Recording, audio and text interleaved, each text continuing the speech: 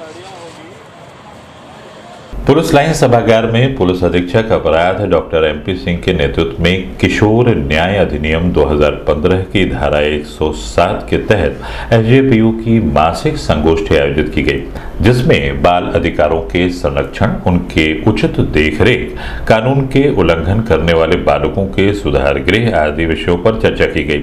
साथ ही पुलिस अधीक्षक अपराध द्वारा आश्रय गृहों एवं शरणालयों में रह रहे बच्चों को कोरोना वायरस से बचाव एवं अनिवार्य प्रशिक्षण के संबंध में विस्तृत निर्देश भी दिए गए।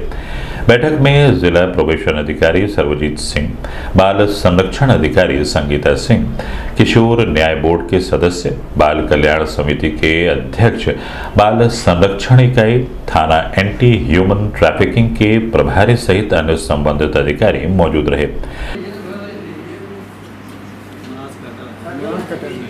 गाइडलाइन का सिविलियन का ऑफ़िस है सर वो हॉट स्पॉट एरिया सर कुछ ऐसा गाइडलाइन अभी हुआ नहीं है। नहीं आप लोग की क्या उसमें का जो फुल गाइडलाइन जाएँगे आप लोग कहीं से दूसरी जगह पे काम करेंगे कि एकदम बस है? डायरेक्टर से बात होगी उसके बाद। अभी का तो बात करके क्लियर कर दीजिए भाई अगर आप लोग बंद कर दें। इसमें सर कोई वही कोई कॉपी वाला केस है कि पहले बनाने के समय सत्यापन के लिए नहीं भेजते थे। अब अब क्या कर रहे हैं कि अकेले हम आश्रम इस संबंध में सिटी वन संवाददाता से बात करते हुए पुलिस अधीक्षक अपराध डॉक्टर एमपी सिंह ने बताया। एस और ए की मासिक गोष्ठी आज पुलिस लाइन गोरखपुर में संपन्न हुई।